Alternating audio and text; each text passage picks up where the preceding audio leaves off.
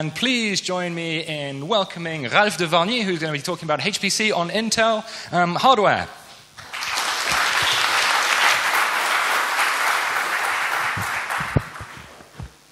The, can you hear me? Or maybe I take this mic.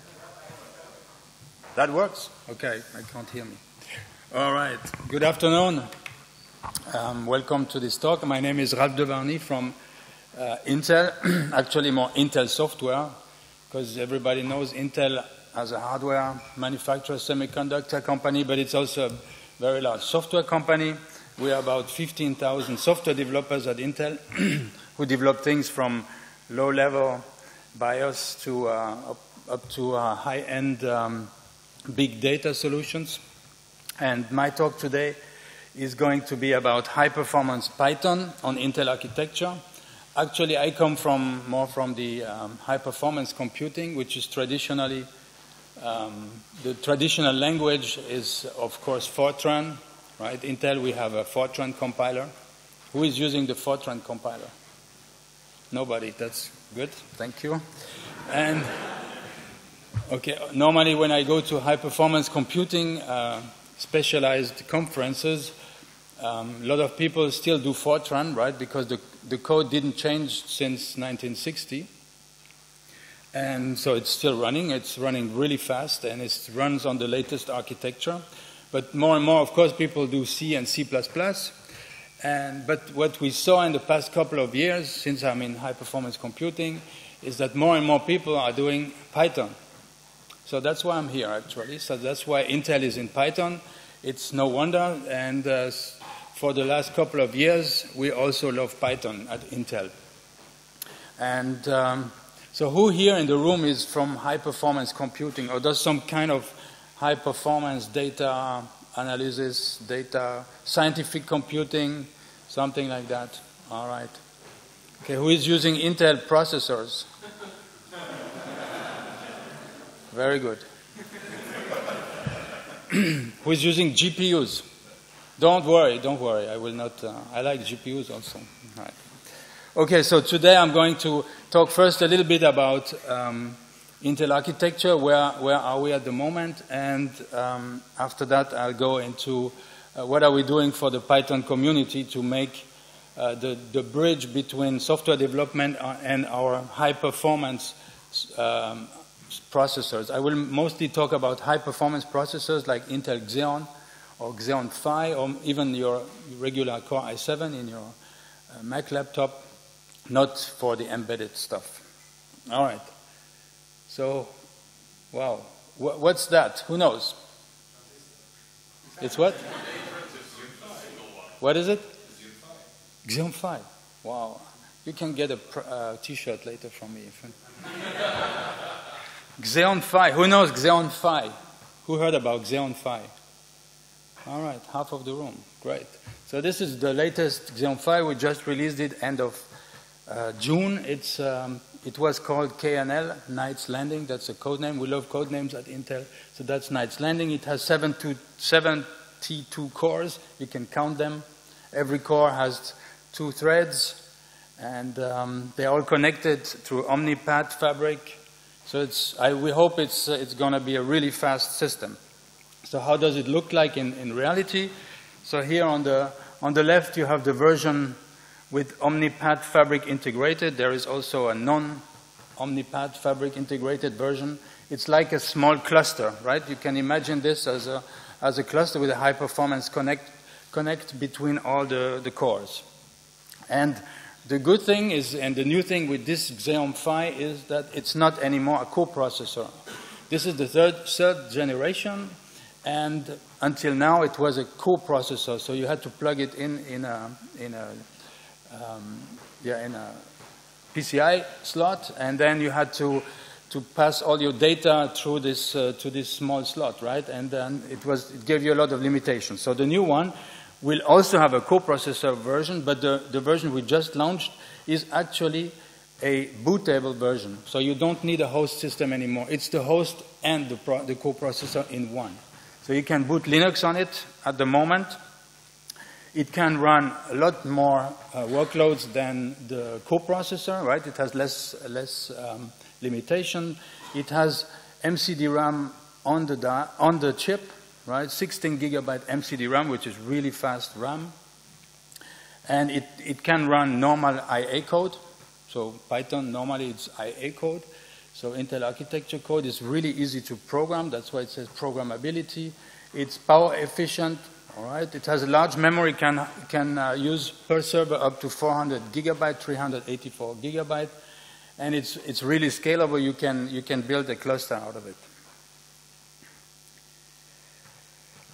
So, like I said, there is a there is a regular version without the um, the fabric, integrated fabric. This one, this is the integrated fabric one, and it it goes onto a host. Um, it, it's its own host processor, right? So you can use it as a regular workstation, right? Currently, we have a lot of customers, software developers who use who have a regular PC. It looks like a PC, and instead of a Xeon or Core i7, they have the Xeon Phi processor in there. and at, in the, at a later stage, it will also be available as a co-processor, like a GPU card. But just to go back to a little bit more of uh, hardware. So in the high end, we have two processor families. We have Xeon. Xeon is the regular processor, which is boosts most of the, the servers at the moment. All the cloud, the internet, everything runs on Xeon.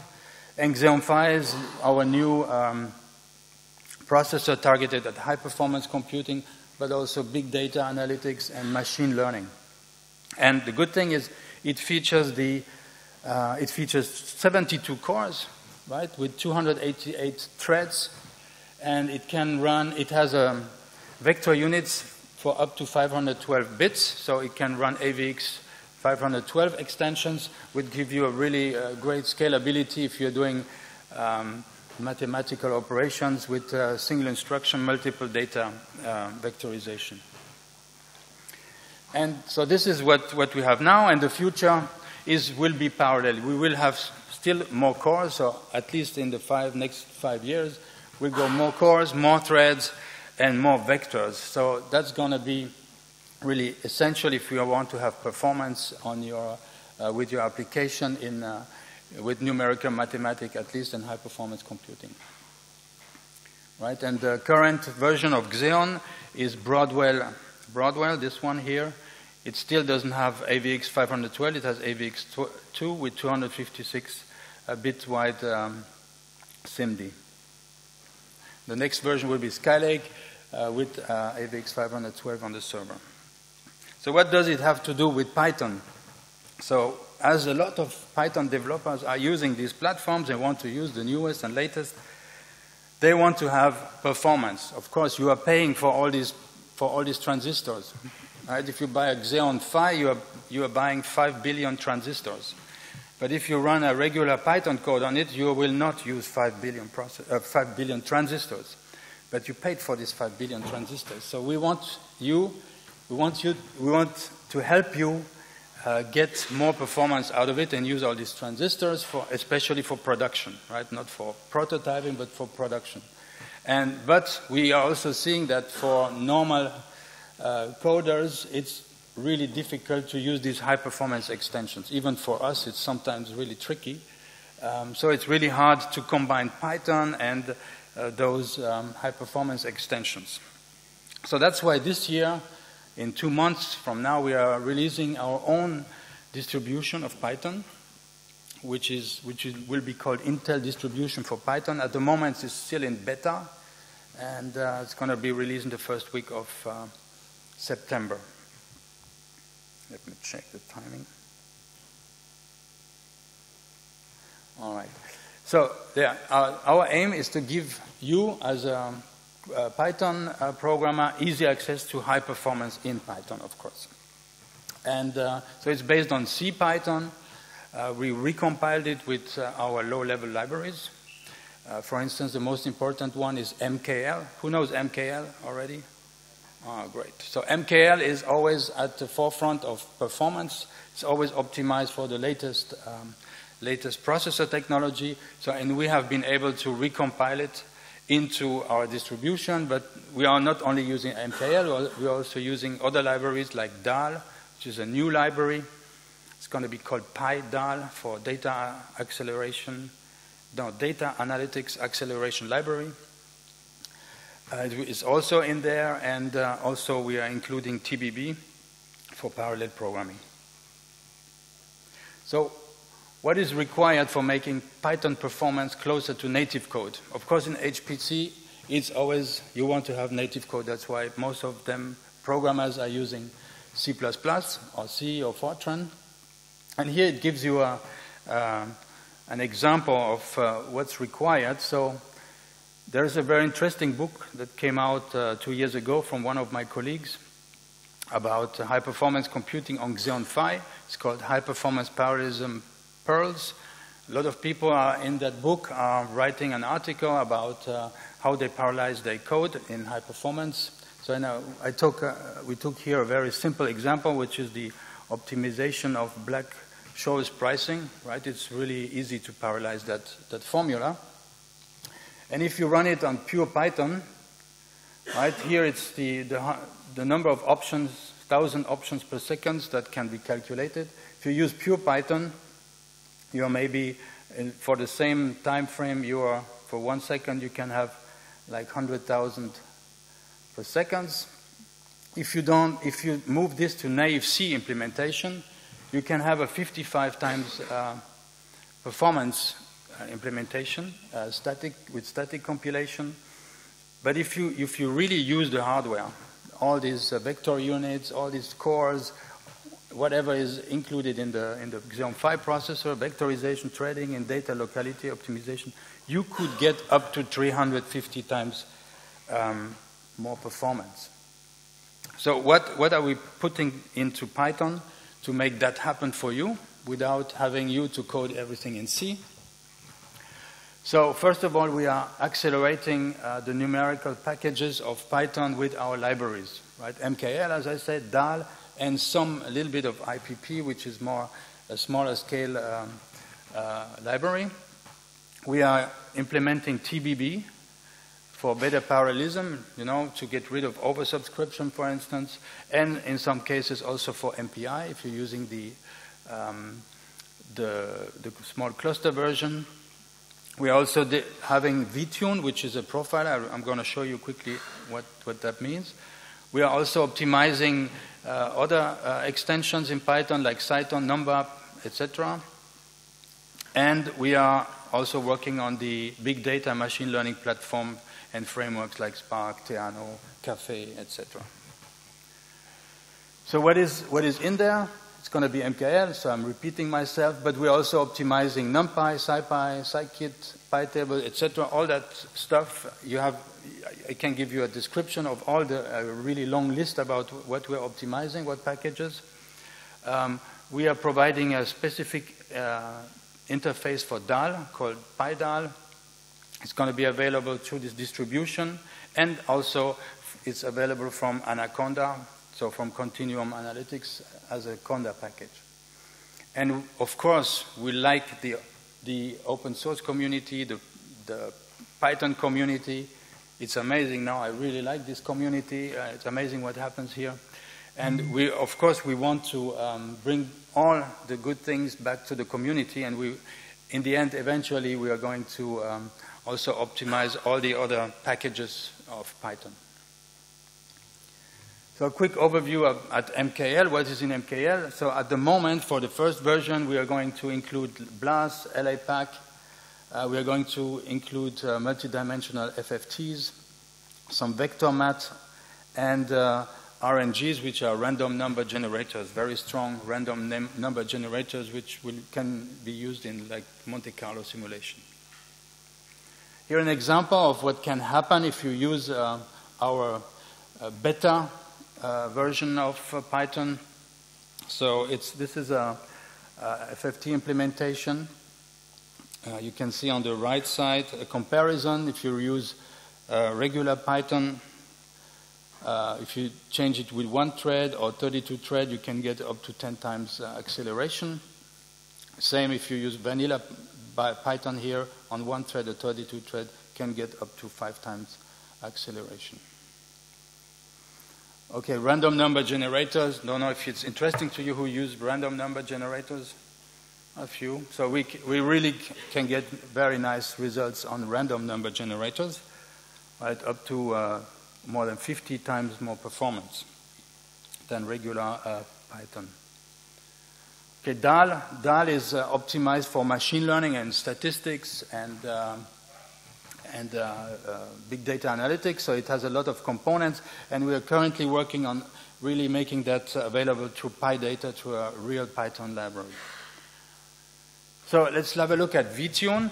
vTune is a low profile, um, it's a low, um, low level profiler.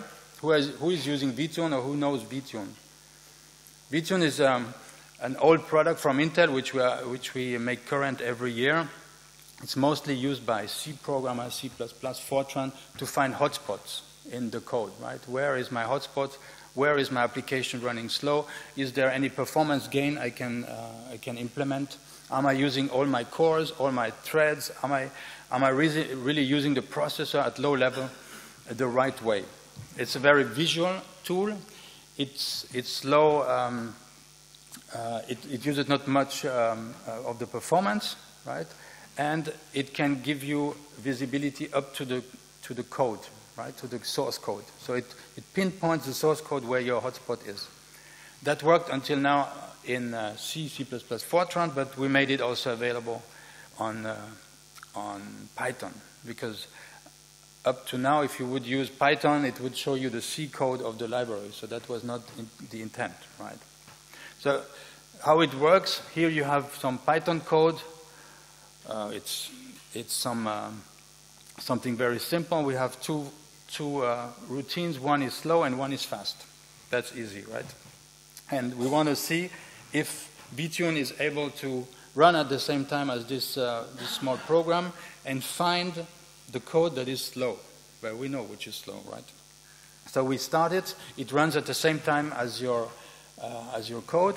It can even um, analyze uh, the, the performance measurement units, the PMUs in the processor, and see what's happening in the processor directly. And so it shows you here, this is the result, it's very visual. Normally you have it on a much bigger screen, so this is a small screen.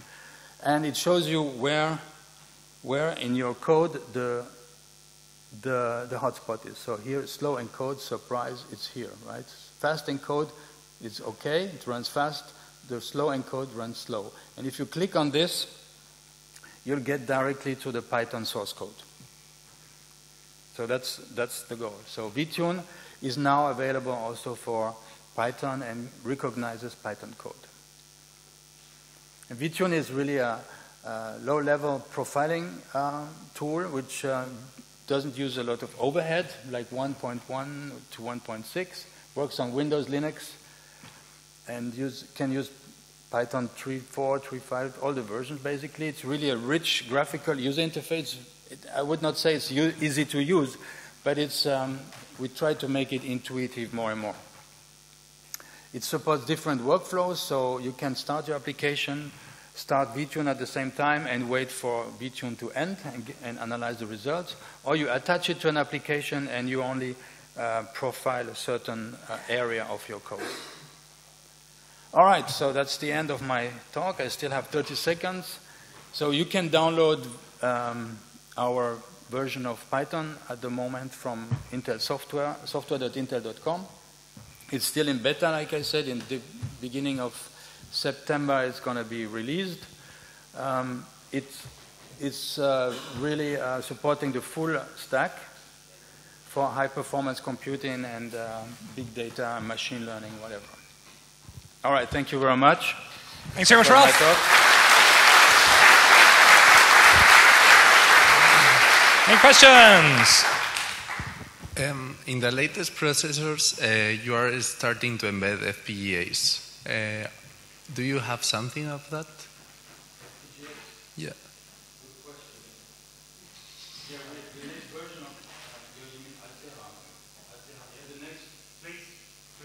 Uh, yeah. So, yep. Yeah, so the question was about um, what about FPGAs? Intel, Intel bought uh, Altera a few years ago, And uh, since this year it's part of Intel Altera, and uh, our plan is, of course, to, to put some FPGA technology in our Xeon processor going forward. Right? At the moment, I have no, nothing uh, specific to say about that. It's still in the, in the works. You mentioned machines that uh, have the Xeon Phi as the main processor. Uh, who's building these? Who's building these? Yeah. Where can I get one? You That's can a get question. one. so you can go to your local OEM and order them, so they, they can take orders. At the moment, on the market, if you we have the um, the software development uh, product, so that the one I said, it's like a workstation. It, you can buy it from Colfax or from um, a German small OEM. I don't recall the name now. So there, there, you, you simply go on the, on the Xeon Phi webpage and you have the list of, there are two small OEMs who build this workstation. You can order them. It's like $6,000 one, uh, one uh, workstation. But other than that, if you want to have more, more information, you have to go to HP or Dell, and, and they are building currently their, their offerings. Uh, the Intel distribution for Python is only for the Xeon series of processors, also for others. It's for Intel architecture. So it, you can use it on uh, Core i3 or in a laptop. i3, i5, i5, it's all the same, basically. Core i3 is basically the same as a Xeon E5 or Xeon Phi. The, the configuration is different, but the, the, the basic architecture is the same. That's why it's really good for programmability. More questions? We have a couple more minutes. There you go. So uh, I'll have one. Um, so the basic idea of the, the special Intel Python distribution is that you've just taken the exact same C Python source code and you've just compiled it with different flags which again are magically optimize the way Python works, or you then have to also rewrite things like NumPy slightly to. Uh, Now we, we, as far as I know, I'm not the, the full Python expert. We recompiled C Python using our low-level libraries like MKL DAAL. So it, you should not. Uh, I'm not promising anything, right? Uh, don't record me now. Um, it's um, yeah, it should work out of the box. thanks. It's compiled with ICC, right? It's It's compiled with ICC, right? The Intel compiler. that's the plan. Yeah. Okay. So uh, we are, like, we, ICC is the Intel C compiler, C++ compiler. It's our C++ compiler. We optimize it to the, to the maximum, to what is doable, and we, of course, use it for ourselves in, uh, in, this, uh, in this case. We, but we also work with GCC, so we also optimize GCC. It's not that we're not, we love the open source community. Uh, Now the question is if I, sa- if I have a library that's compiled uh, with GCC, if I have any issues with interfacing to it from the ICC compiled So Python. theoretically, the ICC and GCC are binary compatible. So you should not have any problem. You can mix codes from both uh, with both compilers. Any more questions? We probably have time for one more, so it might be the best question yet. It will have to fit into 45 seconds, including the answer. 42 seconds. So one thing, the, the distribution is free. Of course, it's free. It's not open source. It's free. The MKL is not open source. It's our proprietary library. But the distribution will be free to download, free to use, and with community support. If you want premium support from Intel, you will have to pay, and uh, through the Intel Parallel Studio package. Great. Well, then, will you join me in All right. thanking Ralph? Thank, you very much. much.